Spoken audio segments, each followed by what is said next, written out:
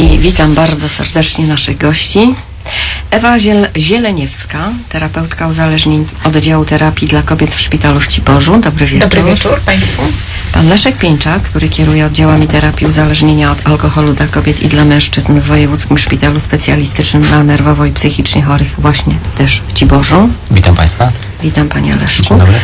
Pani Lidia jest z nami. Halo, halo. Dzień dobry. Witam. Jest e, pan Michał. Pan Michał, witam Dobry pana wieczór. Michała, młody, 22-letni, trzeźwiejący od ilu miesięcy? Kilku? Sześciu? Od sześciu, tak. Od sześciu. Od alkoholu i narkotyków. Tak, moim uzależnieniem mieszane. Mieszane, tak? Tak. A co bardziej? Znaczy się bardziej to narkotyki właśnie mnie fascynowały od małego. Chciałem zaistnieć w gronie kolegów, pokazać się. Chciałem być po prostu lubiany i szanowany po prostu przez ulicę. I ważny chyba. I ważny przez to, tak. W wieku, no dość wcześnie zacząłem, bo w wieku 15 lat zaczęły się pierwsze wybryki właśnie z dopalaczami. Później z biegiem czasu wszedłem na mocniejsze właśnie narkotyki typu marihuana, amfetamina, ekstazy. No i skończyłem na dnie, tak, tak każdy, kto zaczyna z narkotykami zawsze kończy na dnie. Pa, e, panie Michale, ale to dno w wieku 22 lat już? No dość Pan szybko, zobaczył? Mhm. dość szybko właśnie spadłem na to dno. A od czego się zaczęło? Od alkoholu? Tak, zaczęło się od pierwszych właśnie dawek y, alkoholu, od piwa, jakieś y, jezioro, plaża. Za młodego rodzice na dużo pozwalali. No i wyszło jak wyszło, że musiałem upaść, żeby po prostu wydorośleć z tego wszystkiego i zobaczyć, czym jest tak naprawdę normalne, trzeźwe życie. Zaraz o tym powiemy, ale chcemy też dzisiaj więcej powiedzieć o jasnogórskich spotkaniach anonimowych alkoholików, które na początku czerwca się odbyły. Również o pielgrzymce apostolstwa trzeźwości również w czerwcu były. To były dwudniowe spotkania 17 i 18 czerwca, a także o ogólnopolskich spotkaniach trzeźwościowych w Licheniu, które dopiero się odbędą właśnie pod koniec lipca, 29-30 lipca, tak? Tak. Tak, Panie Leszku, po co? Dlaczego? Komu to jest potrzebne? Tego rodzaju spotkania. No tego rodzaju spotkania mm, trwają już długie, długie lata, bo y, jeśli chodzi o Częstochowę, po raz 29 y, w tym roku odbyły się jasnogórskie spotkania AA.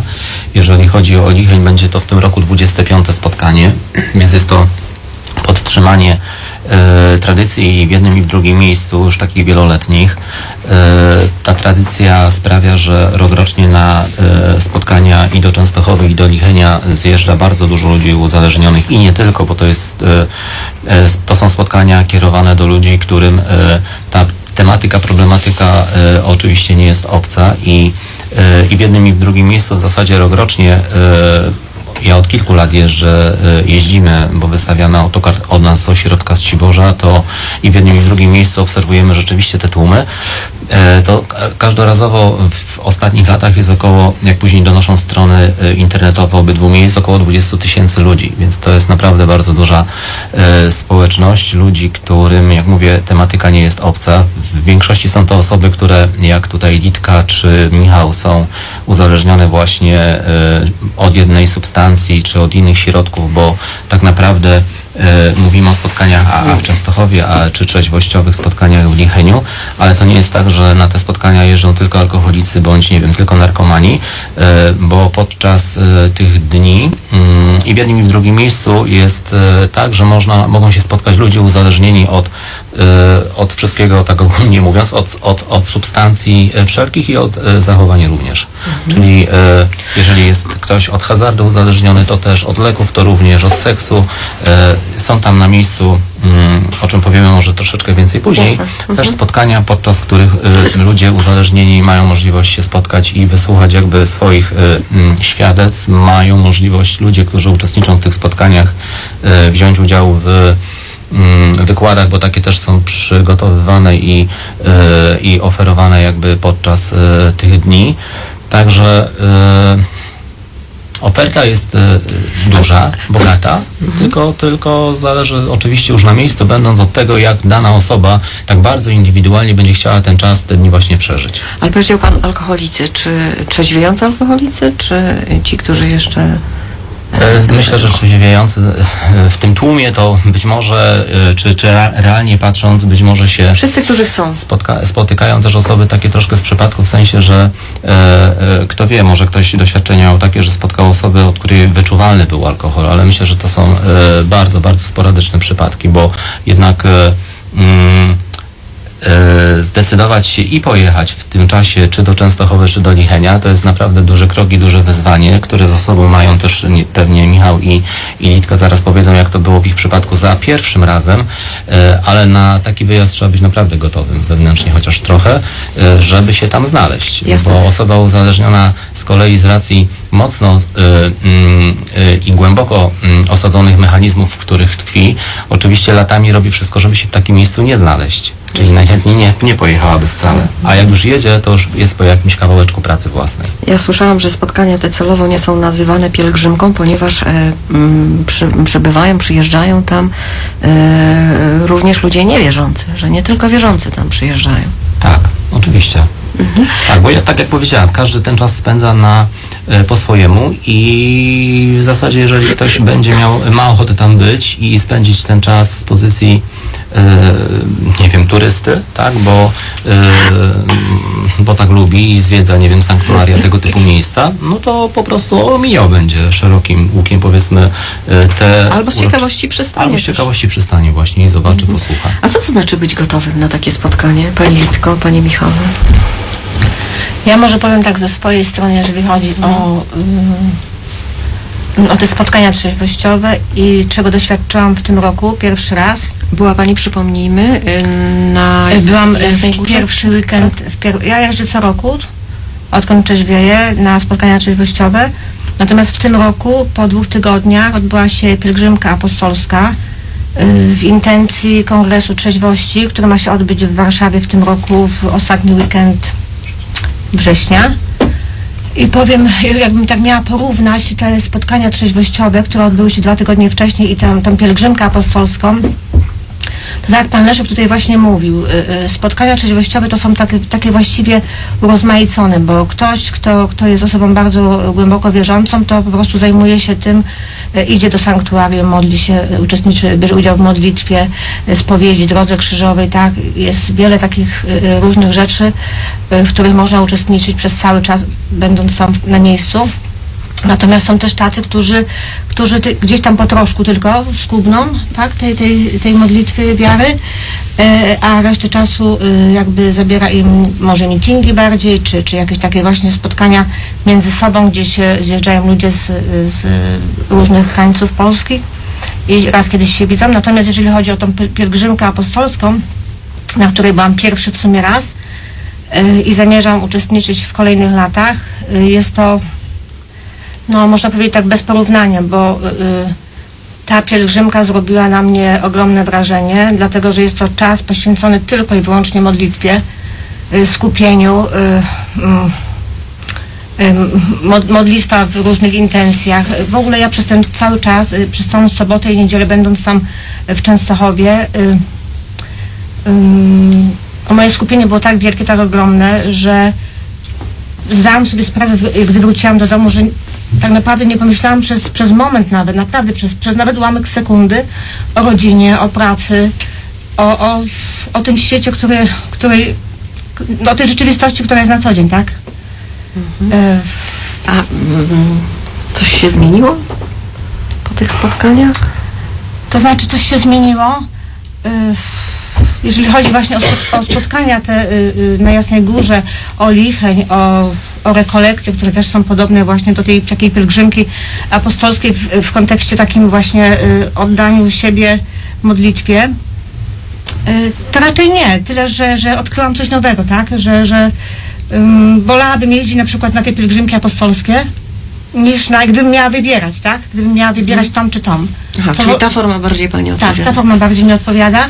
Natomiast jeżeli jest, jeżeli jest taka możliwość, to po prostu zdecydowałam, że będę jeździła i na, na tą i na tą pielgrzymkę apostolską. Mhm.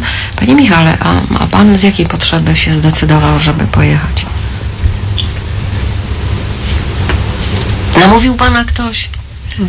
Tak, namówił mnie ksiądz proboszcz do tego. E, ogólnie jeżeli jak spadłem na dno, zaprosiłem A, a, a jeszcze zapytam tak, a jak, a jak pan tak pił, zażywał te narkotyki i, i dopalacze, to mm, daleko był pan od y, kościoła, od wiary, od y, właśnie Bardzo, ro, ba- rozmów? bardzo, I co bardzo takiego się stało? Że raptem Doszło ksiądz, proboszcz pana namówił. Doszło po prostu, no spadłem na dno, zostałem pobity, okopany, pod wpływem alkoholu, naćpany. I przestałem po prostu, no, no zeszłem na samo dno. Byłem wrakiem człowieka, spojrzałem w lustro, powiedziałem, że tak nie będzie, od, rodzina się ode mnie odwróciła. Powiedziałem, że nie. Jakie kroki wtedy pan podjął?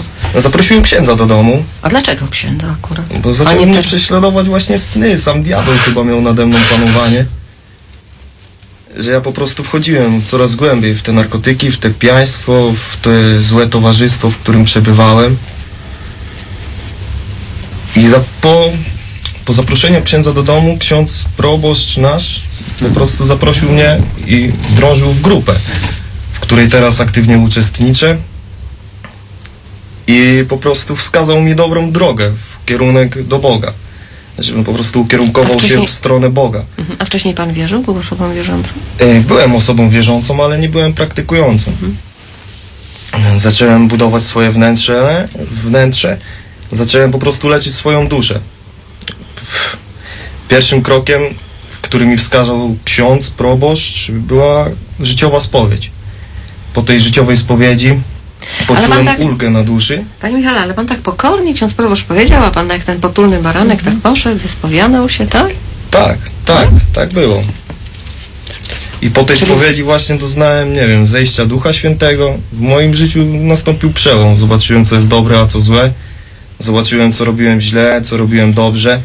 I tak zaraz po tej spowiedzi takie oczyszczające? Znaczy się, no to był moment. Wyznałem Mhm. swoje wszystkie najcięższe grzechy i opuścił mnie lęk, strach, samotność. Poczułem, że nie jestem sam, bo uciekałem w narkotyki, bo się czułem samotny. Nie potrafiłem, nikt nie chciał mnie po prostu wysłuchać. Jak to? Mama nie chciała, tata nie chciała? Ma, ma, ma tak, pan no bo prosiłem, prosiłem wielo, wielokrotnie rodziców właśnie o wsparcie jakiekolwiek już za, za, za młodych lat. Nie, w wieku 15-14 lat po prostu Ale miałem przykład- lęki, jakieś stany depresyjne, Mhm. ale matka jest alkoholiczką i nie potrafiła, no ona sama sobie nie potrafi z tym poradzić do tej pory i mi też nie, mo- nie mogła jakieś, jakoś pomóc. Prosiłem ją, żeby mnie zapro- zaprowadziła po prostu do, do psychologa, do, do psychiatry, żeby on jakoś to rozwiązał, ale ona powiedziała, że nie, że to jest niepotrzebne, radź sobie sam. No i nie potrafiłem sobie radzić. A ojciec? Ojciec jest alkoholikiem też. Też. Mhm. A, a panie Michale, a, a, a szkoła? Bo pan jeszcze był Szkołę? uczniem, tak? Tak, szkołę Zwracał się skończyłem. pan do wychowawcy? Coś? Znaczy się, oni wiedzieli, że jest problem, ale no nie miałem odwagi na tyle, żeby zwracać Odejść. się do wychowawcy. Wtedy byłem na fali. Wiadomo, narkotyki, picie, imprezy. Nie przejmowałem się w ogóle swoim życiem, rodzicami i w ogóle. A opuszczał pan szkołę? Nie. Znaczy się, opuszczać nie opuszczałem. Uczyłem się, uczyłem. Zdałem tą szkołę, jakieś osiągnięcia w szkole też miałem, chociaż była Jakie? to zawodówka. Najlepszy ślusarz ziemi lubuskiej. No panie raz Michale, piąty, drugi raz drugi w Szprotawie. Brawo. No i skończyłem tą szkołę, po szkole zaraz poszedłem do pracy. Dostałem dobrą pracę, robiłem jako tokarz y, frezer na warsztacie. No i pieniądze były niemałe, wiadomo, koledzy dalej, imprezy, narkotyki, głównie narkotyki. No i tak cały czas człowiek zapominał o sobie, o swoim wnętrzu no i w ogóle o życiu. Ale, ale Nie myślałem, żyłem, z, nic nie planowałem, żyłem z dnia na dzień. Nie chciał pan myśleć w ogóle? Co, Nie co chciałem, właśnie uciekałem od tej samotności, od tych lęków, z depresji. Narkotyk powodował we mnie to, że po prostu przestawałem się bać i szedłem non stop jakoś naprzód. A teraz wiem, że dam radę bez narkotyku. 6 miesięcy żyję i wiem, że jestem dużo bardziej wartościowym człowiekiem niż byłem. No to pewnie. Mam jakieś wartości w końcu w sobie. Uleczyłem swoją duszę. Znalazłem też w jakiś sposób miłość, której nigdy tak naprawdę nie doznawałem. Miłość? Tak, nie wiem, do Boga, tak? Mhm, rozumiem. E, Panie Michale, a mm, mm, po czym się pan, cudzysłów y, naj, naj, najlepiej czuł? To był alkohol, dopalacze, narkotyki, czego pan najwięcej? Marihuanie i ekstazie tak naprawdę. Po tym znalazłem, ekstaza mi dawała miłość, a po marihuanie nie myślałem o niczym, tylko byłem w głową gdzieś tak bardzo daleko, w kosmosie. Byłem po prostu odłączony od rzeczywistości. Czy w pana środowisku, w pana otoczeniu sporo osób y, właśnie zażywa narkotyki? Znaczy się teraz, Kim byli O- pana koledzy do no właśnie... byli dealerami przede wszystkim, no i, i ćpunami, no. Ja też jestem do tej pory ćpunem, jestem dalej chory, no, leczę się, tak, mam 6 miesięcy trzeźwości. No i co ja mogę więcej powiedzieć o kolegach? Teraz nie przebywam z nimi na co dzień, bo po prostu to jest jedna z dróg po prostu leczenia się, tak? Z nałogu. Trzeba się odciąć od starego towarzystwa po prostu, żeby wejść na nową drogę życia. Pan jest bardzo silny, panie Michale. Ma pan dużo siły w sobie, czego panu życzę cały czas. Dziękuję pani bardzo i już nie jedna osoba mi to powiedziała. Spotykam nadal kolegów uzależnionych właśnie od, od narkotyków. Czy da się, da się wytłumaczyć kolega koledze właśnie taki, który przestał brać, a ten, który jeszcze ćpa? Mm. Czy w ogóle y, jest jakakolwiek rozmowa między wami? Czy pan próbuje Ostatnio się przekonać? spotkałem z kolegami właśnie, którzy dalej biorą narkotyki i z nimi nie da się dojść do ładu. Nie da się dojść po prostu do jakiejkolwiek lojalnej rozmowy. A czy mają Oni pan... uważają mnie jako gorszego. No właśnie, czy mają panu za złe, że pan przestał? Znaczy się, się leczy? wyśmiewają się chyba ze mnie, bo ja chodzę do kościoła, dla nich, mm, oni nie mają wiary po prostu w, sie, w, sobie i w Boga. To dla nich jest czymś obcym y, siedzieć w kościele, spowiadać się, modlić. Nie są z nikim szczerzy, tak? Ja jestem w końcu z kimś szczery, mogłem powiedzieć przy spowiedzi dla Boga. Jakie są, były moje najgorsze grzechy i wtedy poczułem tą lekkość. Zostałem uwolniony tak jakby, no nie wiem co to było, ale to, Ale- to przeżyłem. No. I czuję się w tym momencie dużo lepiej. I, ta, I daje pan tego tutaj dzisiaj mm, świadectwa, prawda? Czy też jak pan ćpał, czy było też tak, że mm, pan się wyśmiewał z innych, którzy... Tak, Też wyśmiewałem tak się, było? bo po prostu, no tak jak to są wilki, tak? Żeby przetrwać trzeba być basiorem, trzeba mieć naturę wilka, żeby być wilkiem, tak? No, to wiadomo, że ci słabsi byli, no, gnębieni, no nie gnębieni, tyle, no, po prostu byli gorsi, tak? My byliśmy wtedy kimś, a oni byli o tam, o, bo ktoś tam, a nas znali, znają mnie do tej pory. No i tak to jest z tymi kolegami.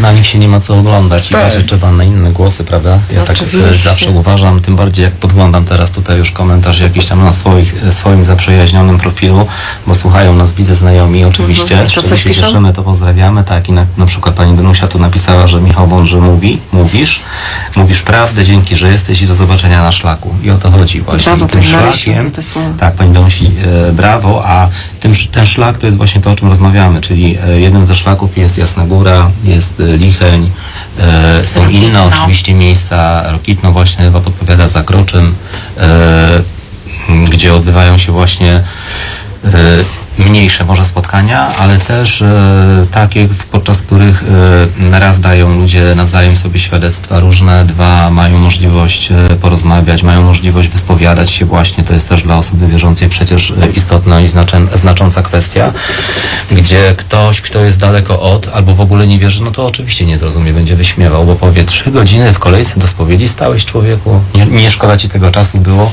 My tak wracając z Częstochowy żartowaliśmy sobie oczywiście, bo to nie jest tak, że jedziemy w atmosferze śmiertelnej powagi i takiej samej wracamy i później e, sobie troszeczkę żartujemy, tyle na ile oczywiście e, możemy i z wyczuciem jakimś, ale na przykład jeżeli kolega właśnie w Częstochowie odstał swoje trzy godziny do spowiedzi, no to naprawdę e, coś musiało powodować nim, że w tej kolejce stał. Mógł zrezygnować, wycofać się, pochodzić, pooglądać e, m, Częstochowę z zewnątrz, e, jak wszędzie też jest, e, jak to się mówi, miód, tak, e, powidło i w sensie, że są te straganiki i można, można sobie jakieś bibeloty kupić, no ale to jest wszystko otoczka. Natomiast sedno to jest po dużej części to, o czym mówił Michał przed chwilą chociaż, chociażby. We, we wnętrzu coś się Tak. dzieje. Pani Litka chciała coś Ja chciałam tylko tak właśnie po Michała wypowiedzi jakby potwierdzić to, co wszystko, wszystko co on mówi, dlatego że Jesteśmy w takiej razem w takiej grupie e, e, duszpasterstwo trzeźwości w Wilkowie, gdzie mm, ta grupa już jest e, około dwóch lat, gdzie właśnie Michał dotarł tam niedawno, tak jak tu mówi, pół roku temu i, i jakby razem idziemy razem i, i, i no widzę to wszystko, jego postępy, tak, jego rozmowy, jego, mm, jego rozwój cały. E, Numer telefonu podać? Dobrze, już podaję numer telefonu. Proszę tam na, Proszę Facebooku, telefon, tak? tak. Proszę o, o numer telefonu. Dobrze.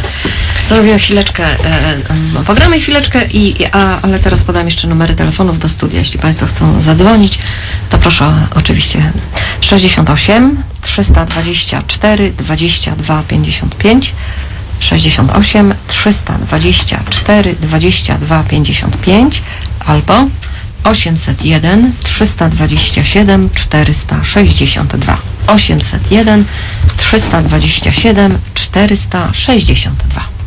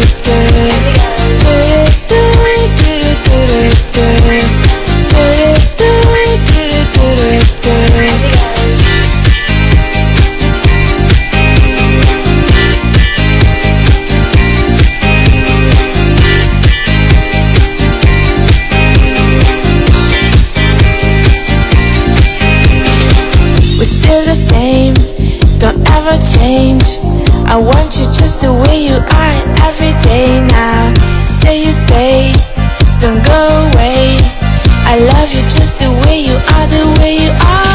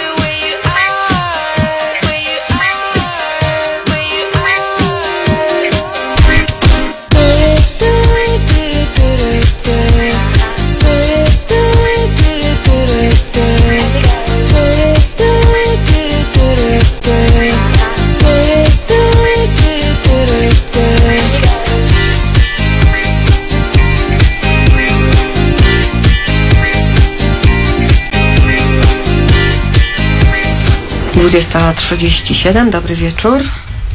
Dzień dobry, dobry wieczór. Witamy, dobry witamy. Grzegorz, przewidujący alkoholik. Ja mam takie pytanie dotyczące spotkań z liceum. Czy można z sobą zabrać tam dzieci? Czy są jeszcze oprócz, oprócz spotkań typowo dla alkoholików jak spotkania, gdzie można się udać dziećmi? Czy dzieci można, panie Maleszką, zabrać? Tak, no, oczywiście. Tak, oczywiście, że tak. A jeszcze proszę powiedzieć, o, dzieci...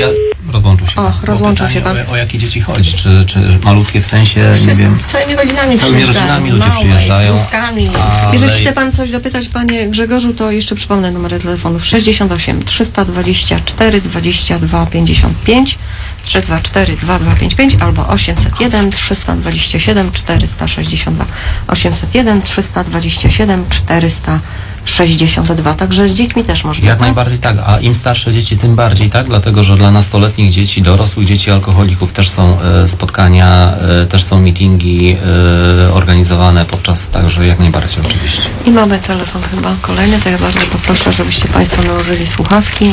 Dobry wieczór. Halo? Halo, Dobry- dobry, wieczór. Dobry wieczór. Jarek Drzagania się kłania. Witamy. Witamy. Właśnie poprosiłem o numer telefonu, bo nie było i nikt nie podał.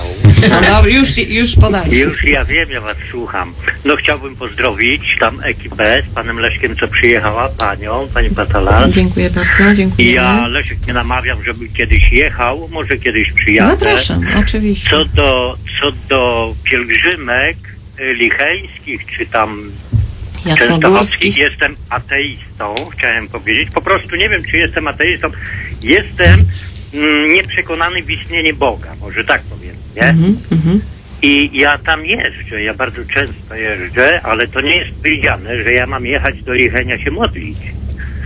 Ja jadę do Lichenia na przykład posłuchać na meetingu. Tam oprócz kościoła też są inne atrakcje, prawda? Tak, Każdy trzeźwieje jak potrafi.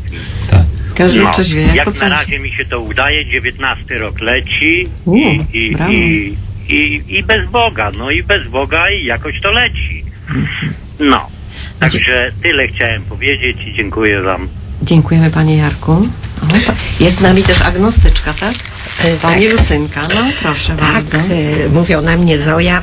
Ja tak przysłuchuję się Zoja. wypowiedzi Michała i e, tak tu w przerwie chwileczkę rozmawialiśmy, kiedy e, muzyka była. E, ja kiedy po raz pierwszy poszłam na meeting, to bardzo irytowały mnie te treści odniesienia się do siły wyższej oczywiście, ale i do Boga. Byłam pełna takiej złości, uważałam, że ta wiara jest narzucana. E, e, Do Częstochowy jadę właściwie od pierwszego, w pierwszym roku e, trzeźwienia, trzeźwieje siódmy rok. Pojechałam do Lichenia i długo mówiłam, że jeżdżę na wycieczki. Wstydziła się Pani przyznać? Nie, nie. Mówiłam, że wy jedziecie na pielgrzymkę, natomiast w rozumiem. tym kontekście, że ja jadę na wycieczkę, bo ja nie czuję tego ducha. Ale też i z czasem zupełnie inaczej do tego podchodzę. W dużej mierze zawdzięczam to też Lidzi, e, z którą trzeźwieję cały czas. Teraz jesteśmy mm, w Ciborzu na takim trzytygodniowym, można powiedzieć, rekreacyjnym pobycie. I bardzo mi się y, podoba mm, jej sposób wiary, przepraszam bardzo, jej sposób wiary nie narzucający. Rozmawiamy mm, ze sobą. E, Natomiast same y, pielgrzymki e, tak udziela mi, tak mi się strasznie ten nastrój udziela. Umiem wszystkie pieśni śpiewać i przez chwilę y, zupełnie jestem oderwana do rzeczywistości, no ale y, nie mam tej łaski wiary po prostu. Y, zazdroszczę Michałowi, że mówi z taką żarliwością, że y, odnosi się do Boga jak do przyjaciela, że czuje się zaopiekowany. Y, ja tego nie mam. Nie liczę na to, że może to spłynąć, ale y, nigdy nie zrezygnuję z tych wycieczek i nigdy nie będę uciekać. Natomiast zaczynam sięgać po książki y, dotyczące wiary. Y, nie irytują już mnie rozmowy. Y, mój sposób patrzenia jest zupełnie inny, jak to mój mąż, który jest również agnostykiem, mówi rewolucyjny i ty się nie odnajdziesz w tej wierze. Natomiast ja myślę, że mm, to nie jest nic złego.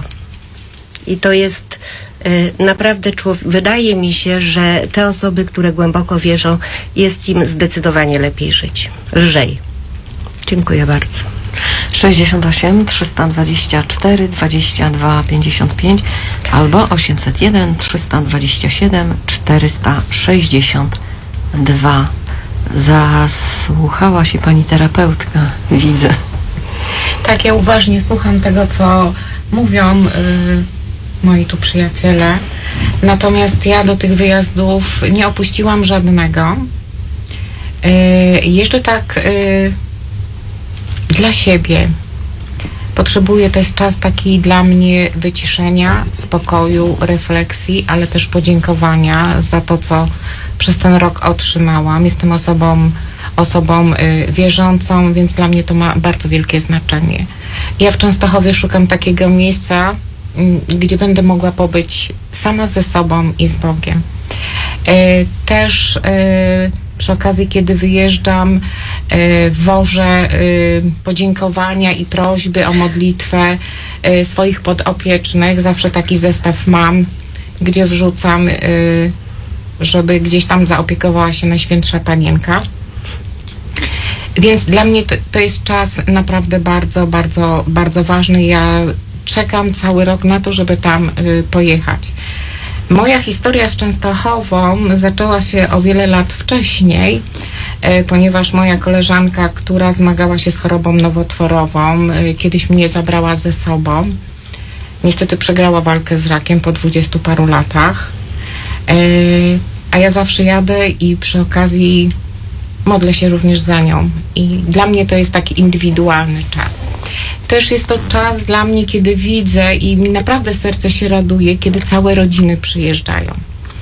E, Kiedy się cieszą, kiedy te żony, czy odwrotnie ojcowie dziękują za odzyskanie, czy żony, czy męża, czy to z tymi dziećmi, jak rozmawiam, to jest naprawdę serce się po prostu raduje, że gdzieś tam nasza praca terapeutyczna, praca całego zespołu terapeutycznego nie poszła na marne, więc to ma bardzo wielkie znaczenie. Ponieważ jestem na każdym spotkaniu, to z roku na rok tych ludzi jest coraz, coraz więcej. Ja bym chciała pana Michała jeszcze zapytać, y, czy mm, rodzice wiedzą, że pan jest na terapii, że od sześciu miesięcy jest pan trzeźwiejący Tak, wiedzą, doskonale o tym wiedzą. I proszę No i wyłączyć wiem, czy- komórki. Czy w jakiś sposób zazdroszczą mi tego, bo non stop są rzucane mi kłody pod nogi. Jakby, No właśnie, jak się odnosz? No, po prostu dokuczają. Wiedzą, że jestem trzeźwy, ale kiedy właśnie przychodzi ten kryzys, kiedy już nie, nie jestem w stanie wytrzymać, bo alkoholicy są tacy, jak teraz popatrzę na to trzeźwy, że po prostu zazdroszczą, są chorzy na coś, cały czas coś im doskwiera, a przede wszystkim oni nie chcą wrócić do wiary, nie chcą wrócić do Boga, nie chcą wrócić po prostu do społeczności. Nie chcą żyć w wspólnocie, wstydzą się czegoś bardzo. Ja po prostu należę już do kościoła, należę do wspólnoty, nie mam z czego wstydzić, wyznałem swoje grzechy dla Boga. Mam czyste sumienie, mam czyste serce, leczę swoją duszę, tak jak powtarzam cały czas.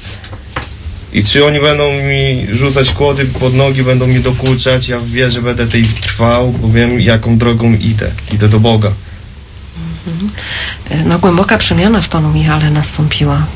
A czy to tak było pstryk, panie Michale, czy to tak trwało trochę? to właśnie było takie pstryk, jakbym dostał właśnie tą łaskę z dnia na dzień. Po prostu było oświecenie w pewnym momencie do, no dotarło do mnie, że, że bez Boga sobie nie poradzę. Że coś musi właśnie stać mi na drodze i to stał diabeł. Nie- nie- Wielokrotnie ciągał mnie za nos. Nie miał pan oparcia w nikim, tak? W nikim nie miałem oparcia.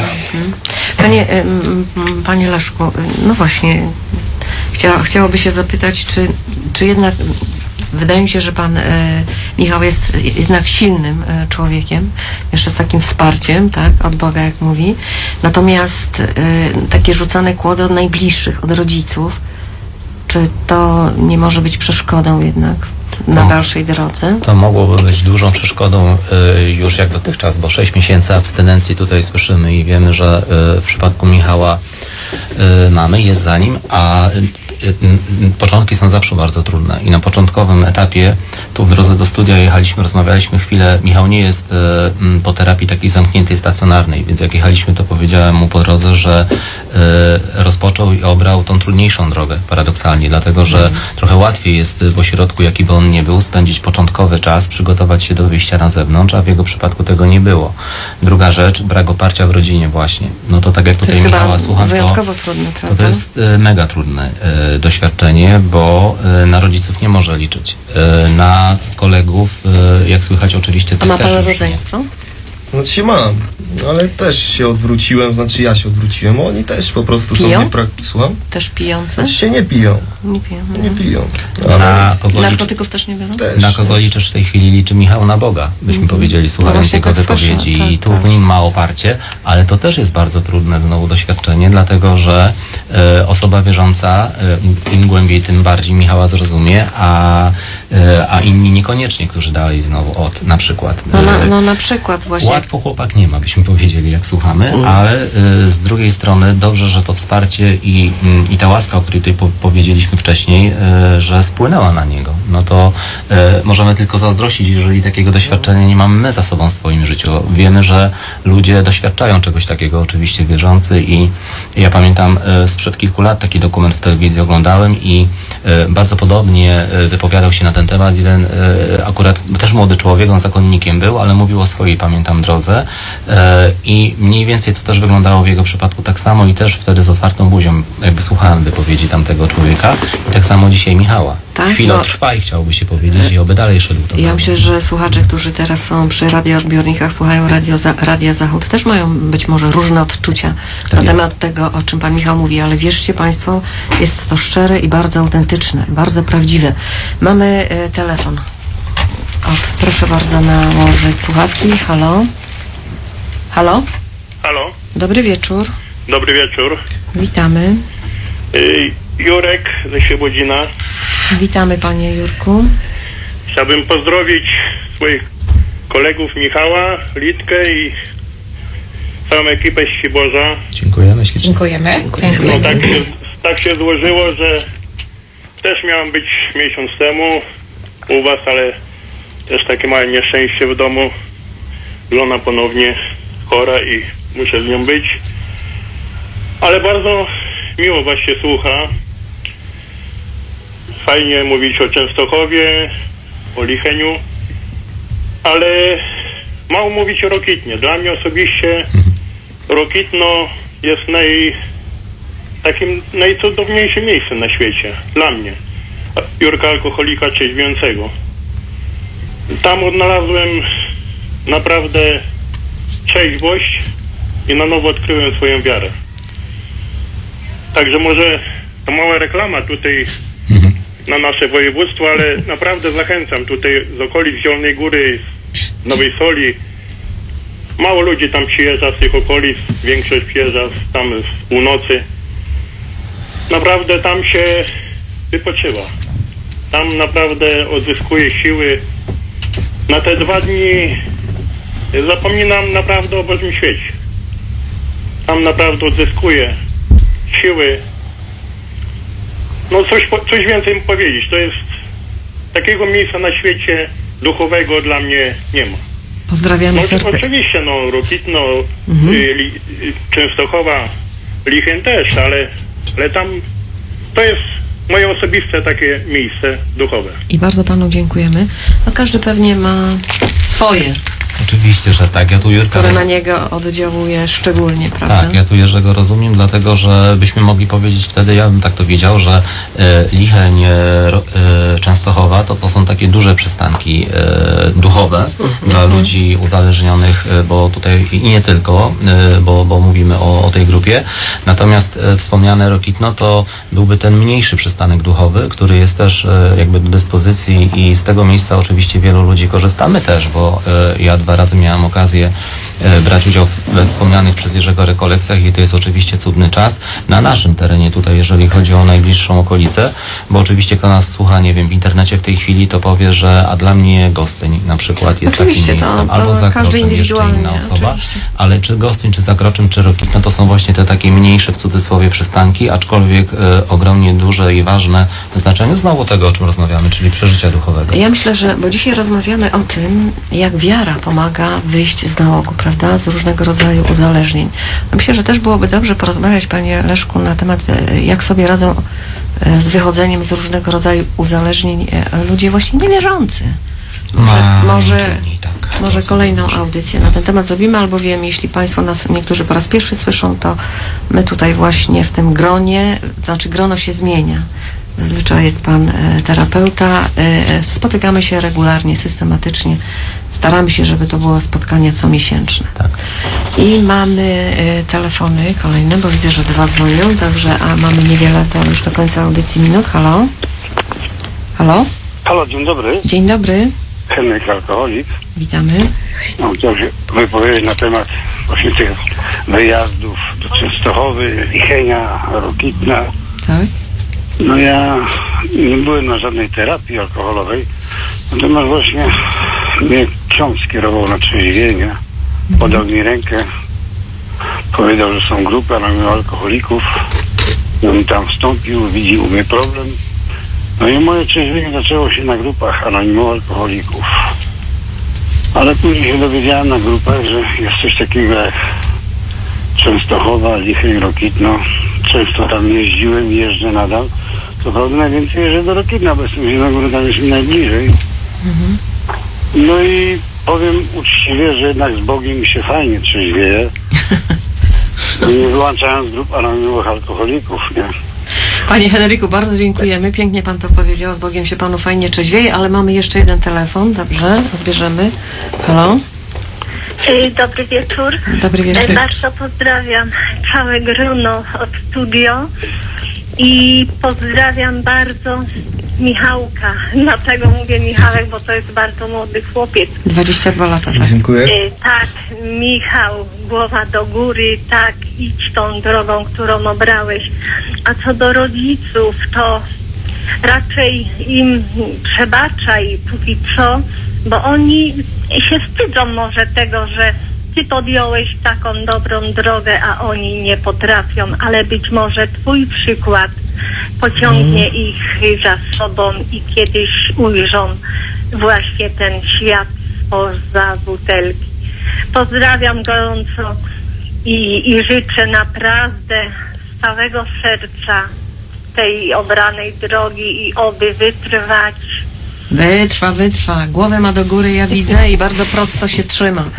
Także wierzymy w, e, w pana Michała. A ja chcę jeszcze powiedzieć, to znaczy mm, oprócz, no wiadomo, to są miejsc, mie- miejsca e, święte, ale mamy jeszcze jeden telefon, dobrze odbierzemy. Chciałam powiedzieć, że tam są, odbywają się też wykłady, tak? E, Różnego, różnych psychologów, w tym Ewy Wojdyły, Na przykład, tak. świetna psychoterapeutka. Czy to są, na jakie tematy wykłady? Ale Sądziewiecki. odbierzemy jeszcze, dobrze? Telefon, halo?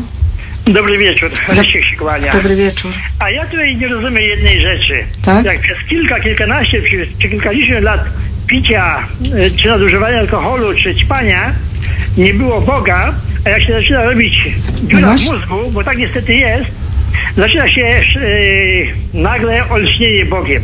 A wie pan, Wolno, żeby takich historii nie mieszać ze sobą.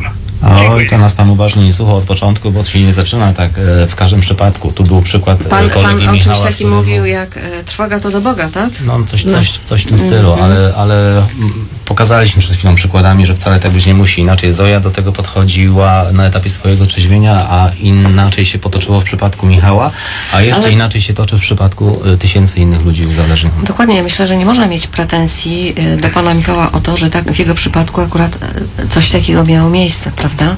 Każdy do tego podchodzi indywidualnie. Stało się i już. I pan jakby e, świadczy tym tą swoją dzisiaj postawą, tym swoją opowieścią, jakże autentyczną, jakże szczerą i prawdziwą. No tak się stało. Tak, a czego oczekiwałby nasz e, pan słuchacz? Tego, żeby, nie wiem, Michał i e, inne podobne osoby uzależnione przestały pić i różnica tylko była taka, że nie piją, a dalej były złe. W, cokolwiek to oznacza? Chyba też nie. Ja myślę, że to, jest, że, że to jest bardzo jednak osobista, bardzo intymna sprawa, wiara e, w Boga, prawda? Dzisiaj rozmawialiśmy o tym, o jasnogórskich spotkaniach anonimowych alkoholików, o pielgrzymce apostolstwa trzeźwości, a także o ogólnopolskich spotkaniach trzeźwościowych w Licheniu. One się dopiero odbędą, będą 29 i 30 lipca i to jest bardzo, bardzo indywidualna droga i są ludzie, którzy właśnie świadczą swoim, swoim chociażby tutaj teraz e, byciem w e, Radiu Zachód, że tak w ich przypadku się stało, prawda? Panie Michale. Spotykam wielu ludzi po prostu na swojej drodze trzeźwienia, na meetingach, e, na spotkaniach grup trzeźwościowych, które, które trzeźwieją w podobny sposób nie jak ja. Czy one, ktoś musi upaść na dno, żeby poznać Boga? Wcale nie. Może trzeźwieć bez Boga. Są grupy meetingowe, proszę bardzo, są otwarte dla każdego. Jeżeli potrafi sam zrozumieć siebie i swoje wnętrze bez Boga, uporządkować sobie swoją duszę bez Boga, bo głównie o to chyba chodzi, to ja nie widzę przeszkód wcale. Żeby był trzeźwy, Słusznie, nikogo do niczego nie, ma, nie namawiamy. My przedstawiamy tutaj Każdy- poszczególne osoby, które właśnie w taki sposób wychodzą e, z tego, e, czy Ja podnoszą wybrałem się z dna. drogę Tak? trzeźwienia z Bogiem jest Tak. mi o wiele łatwiej, bo, bo po, polegać. Ale ja myślę, że nie musi się pan usprawiedliwiać z tego. Po e, prostu panie też trzeba czuć, tak? To Tak, trzeba czuć to trzeba poczuć. i tyle. Jedni, tak jak pani Zoja powiedziała, mają tę łaskę wiary i są szczęśliwi, inni tego nie mają. Jeszcze inni szukają, jedni znajdują, inni całe życie nie znajdują. Przecież to o to też chodzi. Całkiem Wszyscy szukamy. to. Wszyscy szukamy. Wierzący, niewierzący. Także trzeba się cieszyć e, tylko z tego, Panie drogi słuchaczu. P- Te, tego Ale nie będziemy pana też przekonywać. Pan ma Absolutnie prawo mieć nie, swoje ale zdanie że cieszyć mieć z tego, że ktoś obiera taką drogę, bo zmienia swoje Dokładnie. życie, a y, i płakać z radości, a nie płakać z, y, z nieszczęścia, do którego doprowadzić mógłby kolega Michał, na przykład gdyby dalej brał narkotyki i go z nami dzisiaj by nie było. Dokładnie. Dzisiaj właśnie o tym rozmawialiśmy, że, że jak to powiedział jeden ze słuchaczy, y, y, fajnie wychodzi się z uz- uzależnienia z Bogiem, tak?